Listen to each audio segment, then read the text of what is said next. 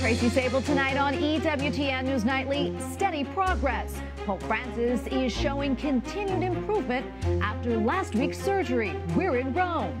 Speaking out, former President Donald Trump is reacting to his indictment and offering a preview of how he plans to fight back. Reading the Constitution, why some pro life lawmakers believe the 14th Amendment could protect the unborn. The heart of our faith how the Vatican celebrated the feast of Corpus Christi. These stories and more tonight. From EWTN, the Global Catholic Network, this is EWTN News Nightly. Thank you for being with us. Our top story tonight the Vatican says Pope Francis is making a strong recovery following his three hour surgery last week. However, as a precaution, doctors asked the Holy Father not to deliver his Sunday address to pilgrims. The medical personnel were concerned that it would be too much of a strain on Pope Francis to deliver his Sunday remarks from the hospital balcony. Overall, he is eating regularly, continues to do his work, and earlier today even took Holy Communion. Joining us now from Rome is Andreas Thonhauser, EWTN Vatican Bureau Chief. Andreas, great to be with you today. Uh, can you tell us a little bit more about how Pope Francis is doing? How's his recovery going? Sure, Tracy. So Pope Francis is recovering well.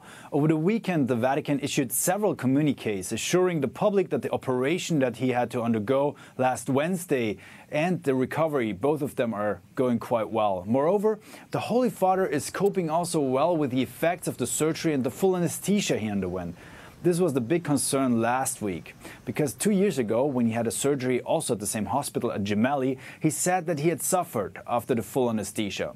Vatican spokesperson Matteo Bruni confirmed also earlier today that Pope Francis is doing well, he's been working, and he has received phone calls. And one phone call he made himself last week was the one to the mother of the child he baptized during his last stay at Gemelli Clinic in March of this year. The mother wanted to come visit Pope Francis, but because of his health status, she was not allowed access to the Holy Father. As soon as he was able, he called her personally. And Andreas, how are things at the Vatican without Pope Francis? And when is he expected to be released from the hospital? Do we know? Well, with the Pope in the hospital, many things are on hold here at the Vatican. On Saturday, there was a big event taking place in St. Peter's Square with the participation of 30 Nobel Peace Prize winners, and it was so called Not Alone. It focused on the theme of Francis's encyclical Fratelli Tutti, namely human fraternity. However, without Pope Francis being there, the square felt quite alone. I, I, felt a bit sorry for the organizers of this big event. Many did not show up in the end, and that the space and the space was quite empty. But this is the reality for many things here in the Vatican. When the Holy Father is absent from events, he was expected to honor with his presence. That is why everyone is asking now when he will return to the Vatican. And so far, we have not heard of any other news regarding the 18th of June, and that is the date until which all appointments were cancelled but it could be longer than that at this point. An important message came from Matteo Bruni again last week when he confirmed that all scheduled apostolic trips are still supposed to take place with the Holy Father present. The World Youth Day in Lisbon will start on the 1st of August and has just opened its accreditations for, for the papal plane. Many journalists are interested in participating. The same is also true of Mongolia, where the Pope is supposed to fly to at the end of August.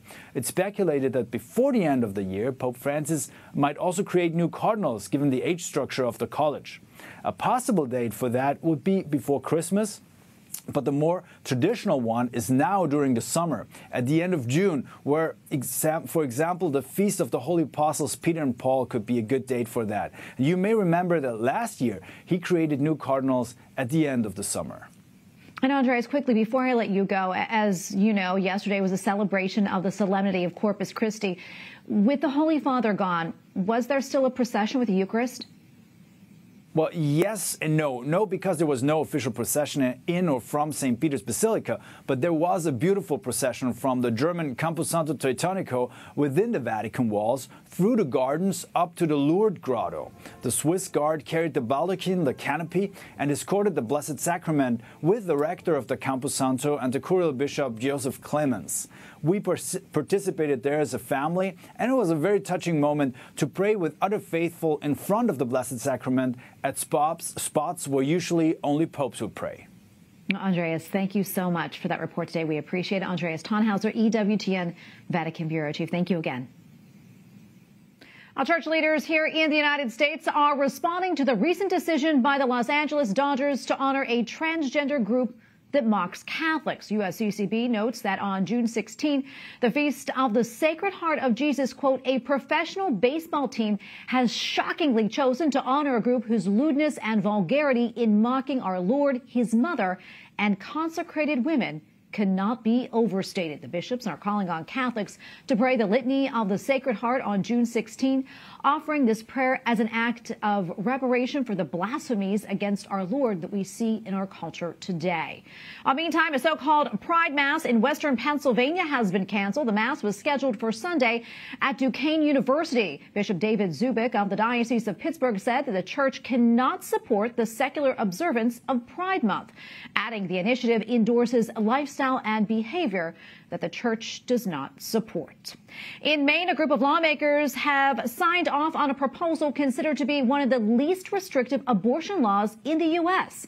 It would allow abortions after a baby is considered viable or able to live outside of the womb if deemed necessary by a doctor. Currently, Maine allows abortion up until around 24 weeks of pregnancy.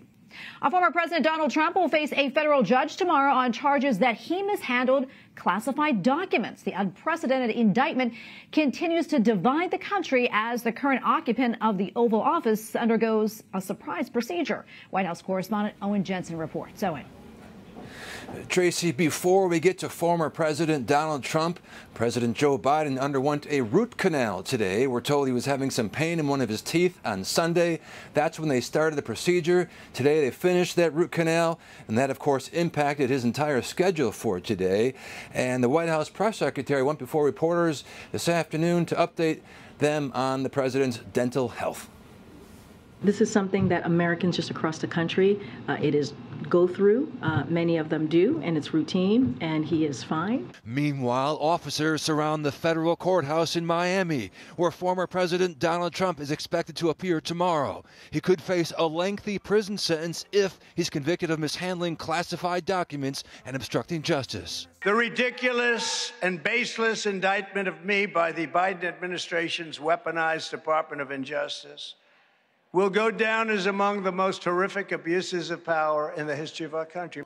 The former president is also planning a speech tomorrow night, and he says there are no circumstances under which he would leave the 2024 race. Asa Hutchinson and Vivek Ramaswamy, two of several candidates challenging former President Trump for the Republican nomination, have different takes on the indictment.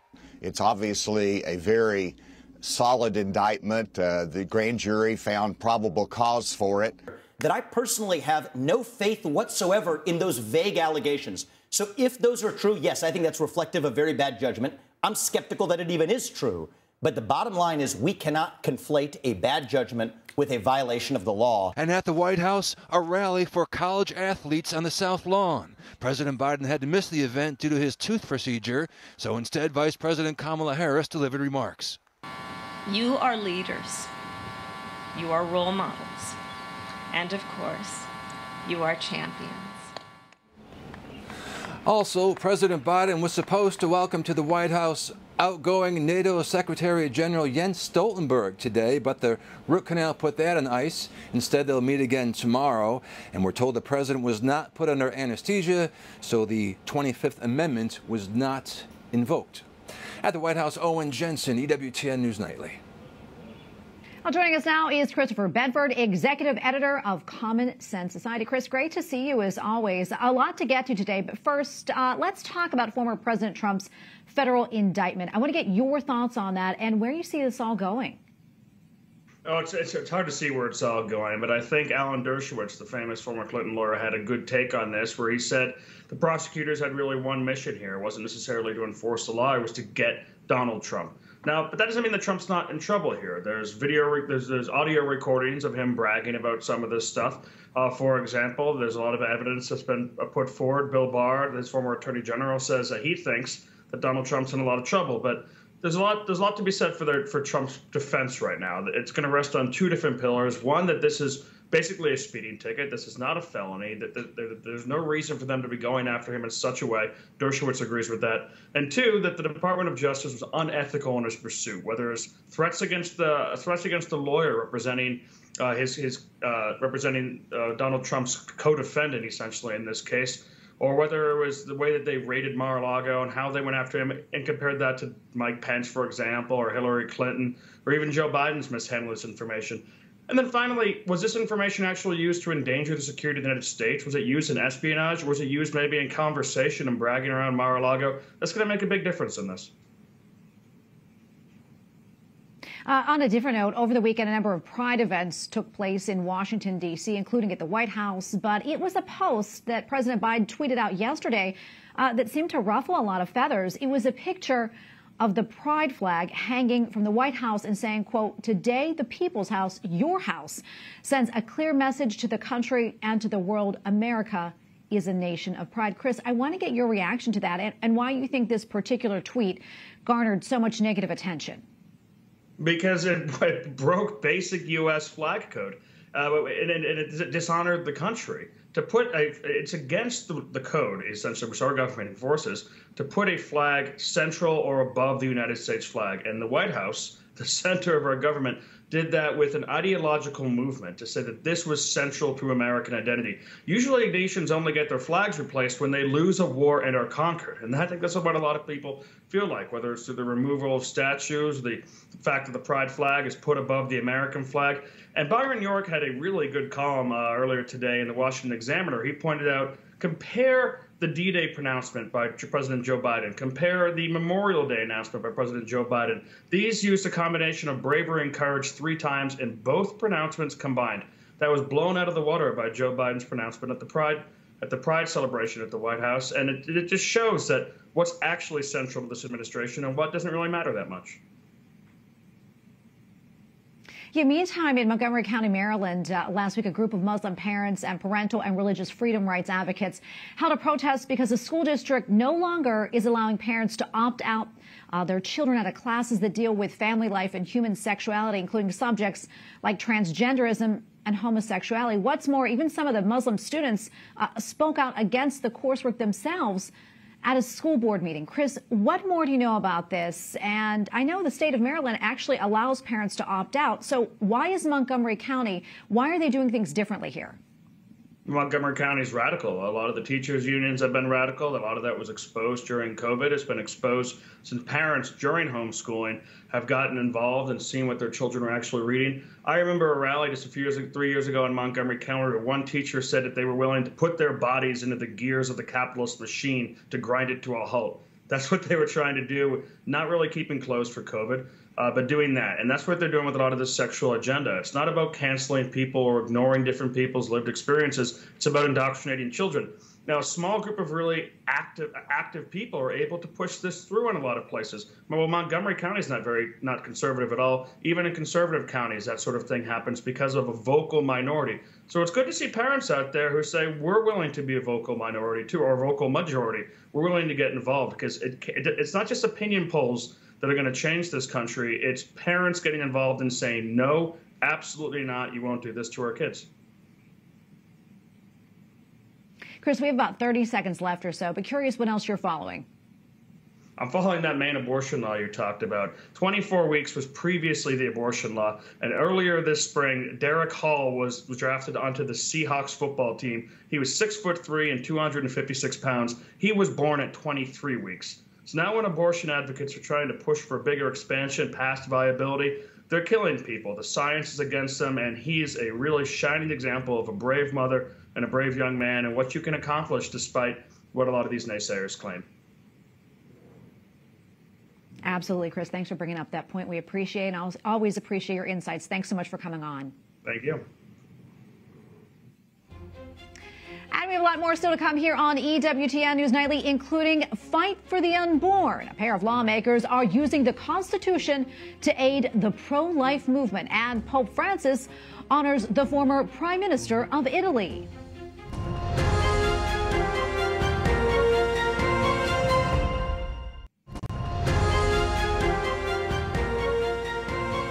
The Archdiocese of St. Louis in Missouri is set to pay a $1 million sexual abuse settlement. The claims are from a man sexually abused by a priest. The same priest spent 12 years in prison for abusing a different victim. The Archdiocese expressed its sympathy, adding it continues to pray for all victims of clergy misconduct. A former longtime Prime Minister of Italy has died. Silvio Berlusconi was the country's longest serving head of government. The billionaire and media magnate began as Italy's leader back in the 1990s. He led a scandal plagued career despite being re-elected several times. Pope Francis sent a condolence telegram to the former prime minister's family. Berlusconi was 86 years old. On new details tonight regarding the gruesome stabbings of children last week in France. A prosecutor says judges handed down preliminary charges of attempted murder against a 31 year old Syrian refugee.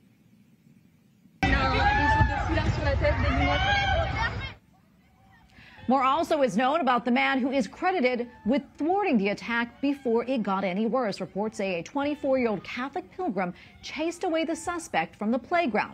He says that he just acted on instinct and is being hailed as a hero.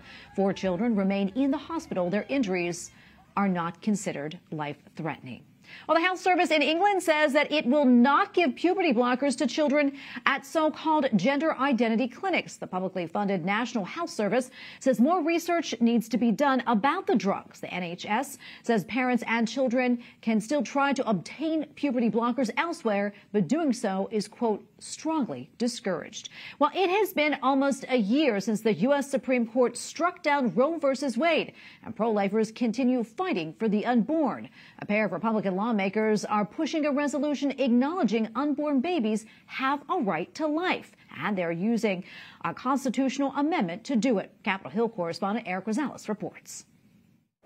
Good evening, Tracy. You know, just after the Civil War in the 1860s, Congress passed the 14th Amendment, giving slaves the right to life and liberty. Now, Congressman Doug Lamborn tells me that he's sponsoring a new resolution using the 14th Amendment to cover any child living in the womb. The 14th Amendment was originally intended and should be interpreted now as protecting everyone's right to life, and that includes the unborn. Arizona Congresswoman Debbie Lesko, a co-sponsor, said in a statement, quote, the 14th Amendment of the U.S. Constitution guarantees equal protection under the law and ensures that no one is unjustly deprived of their fundamental rights to life and liberty. Both say the resolution is consistent with the U.S. Supreme Court's Dobbs decision. But even some pro-life advocates argue against relying only on the 14th Amendment to protect the unborn. I think it would behoove pro-lifers to respect its original intent and perhaps use other means to fight for the protection of the unborn that will ultimately hold up long term and hold up much better than using the 14th Amendment as a bludgeon. Still, Congressman Lamborn tells me people need to think about others instead of just themselves. There are people who are so intent on protecting the mother's autonomy to her body and her life, they don't they're not willing to recognize that the child within them is a different, a separate, another life. And what about the 2024 presidential election? Pro lifers tell me that they will only back a nominee who supports federal minimum protections for the unborn. We're very focused on, you know, a presidential nominee who would support a gestational limit at 15 weeks at most when an unborn child can feel pain. By the way, this resolution isn't intended to become law. It's meant to be used as a guide to protect the unborn from all three branches of government and to raise awareness about the issue. At the Capitol, Eric Rosales, EWTN News Nightly. Up next on EWTN News Nightly, a new low. We learn more about the declining birth rate in the U.S. and what it could mean for future generations. Plus, the Vatican hosts an event celebrating unity.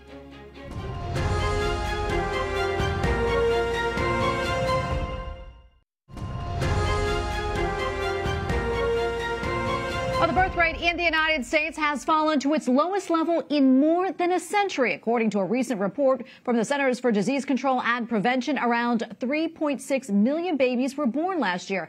That is down from 3.75 million in 2019. In 2007, the birth rate was much higher, around 4.3 million. When Atlas says the study points to a worrying future for the country. We go now to Roger Severino, Vice President of Domestic Policy at the Heritage Foundation. Roger, great to have you back on. Um, let's talk about these low birth rate numbers and what they say to you. How concerning is it?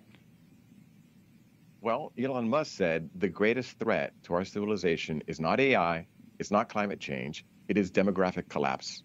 And we're at the precipice. We're at 1.6 in terms of total fertility. We need to be at 2.1 or above to replace ourselves. And we're not doing that. And it's a crisis. It's a slow moving crisis that no industrialized country has been able to really solve. Uh, Hungary has been one that has dedicated tremendous resources to increase the birth rate. But everywhere else in the West, we're seeing this decline. And I think it is symptomatic of a loss of hope. We are losing so much hope. It's a, a society in many ways of a culture of despair.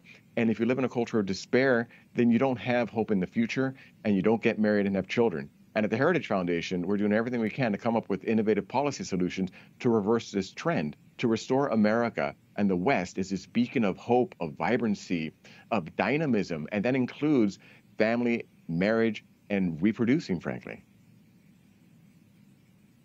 Yeah, and Roger, I know you recently said uh, America faces no greater long term threat to its economic, military, and cultural well being than these low birth rates. Uh, talk to us more about that. Well, here's a sobering statistic. In three out of four American counties, there are more recorded deaths than births. That, by definition, is unsustainable.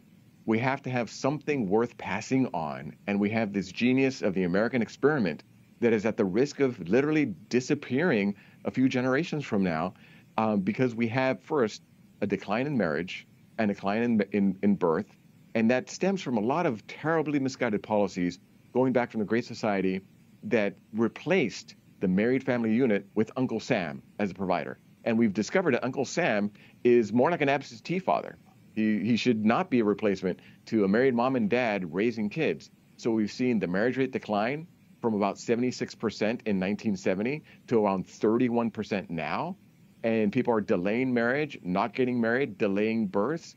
Whereas before, we used to have marriage and child rearing as the cornerstone of the life. That was the American dream. You start there. Now it's been seen as some, some sort of luxury good that is a capstone once you get everything else out of the way. And that's backwards. And we got to get government out of the way to make sure they're not penalizing marriage anymore and restore this culture of vibrancy and hope in the future. And it begins with marriage and kids. Yeah, and Roger, I was going to ask you, I mean, what do you think can be done to reverse these trends and sort of this mindset and also better promote families and, and, and help to support them? Sure. We're looking at innovative things like child and family tax credits, uh, making sure we have more options for uh, working mothers, for mothers who stay at home, educational choice, uh, removing as many barriers as possible to things like work requirements in a welfare state. Often we have this thing where government has been the provider, where we've seen in previous administrations and the current one, where they see the government as the solution that we're gonna we're gonna have you be the father. No, government is half the problem. Now we should look into solutions where government incentivizes marriage and family formation. But right now we're in the position where government is penalizing it and saying you're better off if you don't get married, and if you don't have kids, because we're going to give you some benefits or give you tax uh, penalties if you do get married. Those have to stop. And once that, that is pushed out of the way, we to look at innovative policy solutions to incentivize marriage, like countries like Hungary have implemented. They put their money where their mouth is, and they've been one of the few to actually reverse their declining birth rate. And Roger, do you think that this will happen here in the U.S.? I mean, do you think they'll put some of these policies in place in the federal government? We're hopeful. It depends if there's a change in administration, whether they will be open to these policies, but you have to value family and children in the most traditional sense because we know that's the one that works the best. And we've moved so far away from that as a culture that we need a lot of rebuilding to do culturally to say we have to value the married mother and father and their kids in the home because we know that's what leads to the best of human flourishing. The safest place in the womb is in the womb of a married mother, and the most dangerous place is in the womb of a single unmarried mother. So if we address the marriage rate, we're also going to address the abortion rate.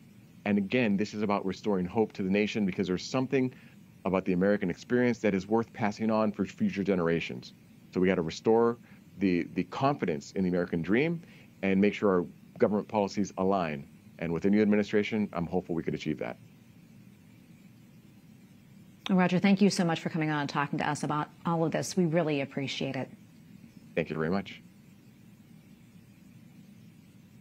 Well, finally tonight, as we mentioned earlier, Pope Francis delivered a message to a distinguished group at the Vatican over the weekend. In it, he reminded the faithful to treat people with dignity and respect and not as objects. The Holy Father's message was read by Cardinal Mauro Gambetti. The event on human fraternity was sponsored by the Fratelli Tutti Foundation. The Holy Father emphasized seeing others as people and not numbers. And we thank you for watching tonight. Remember, you can follow us on social media Facebook, Twitter, and Instagram at EWTN News Nightly. I'm Tracy Sabol. Good night and God bless.